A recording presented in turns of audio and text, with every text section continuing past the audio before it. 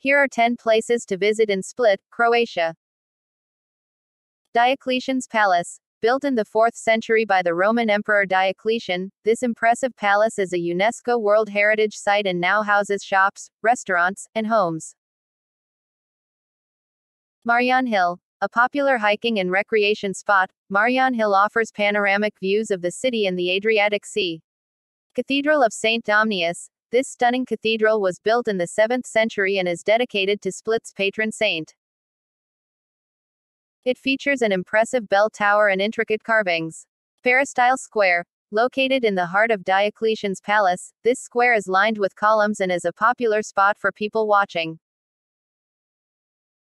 Riva Promenade. This lively waterfront promenade is perfect for a leisurely stroll and features plenty of cafes and restaurants. Croatian National Theatre. This beautiful theater hosts a variety of cultural events, including operas, ballets, and plays.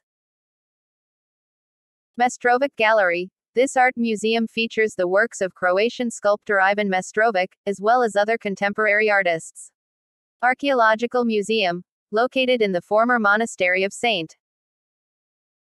Francis, this museum houses an impressive collection of ancient artifacts from the region. Ivan Mestrovic statue. Located on Marjan Hill, this towering bronze statue of the famous Croatian sculptor is a must see.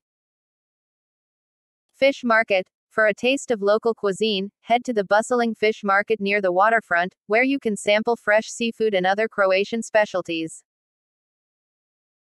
Split is a popular tourist destination year round, but the best time to visit is from April to September when the weather is warm and sunny. Croatian is the official language, but English is widely spoken, especially in tourist areas.